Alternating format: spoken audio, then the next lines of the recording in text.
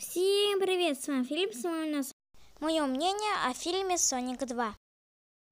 Сам фильм мне очень понравился, но есть минус. Моменты со свадьбы, где Соника и Тейлза поймали, было уже не так уж и интересно смотреть, потому что Соника и Тейлза не было. В итоге вся свадьба оказалась просто операцией под названием «Приманка». Если что, это я рассказываю свое мнение о фильме, а не там плюсы и минусы, как другие ютуберы. Вот там. Там сколько-то минусов или сколько-то там плюсов. Вот, меня забавлял Тейлз. Было с ним, ну, смешно иногда. Вот когда Соник и Тейлз приехали в Сибирь, было смешно, когда он упал. Или когда впервые Тейлз спас Соника на своем хвосте, ну, на хвостах начал летать.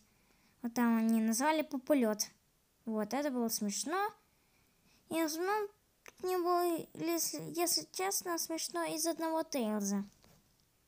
Есть еще отсылка на транспорт доктора Эгмана из игр и мультика Соник Бум. Вот сейчас вы видите, вот где он сидит, вот этот момент.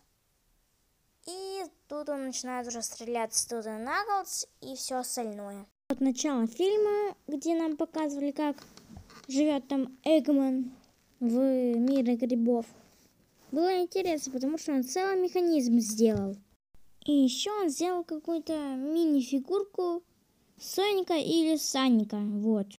В сцене после титров был показан персонаж Shadow.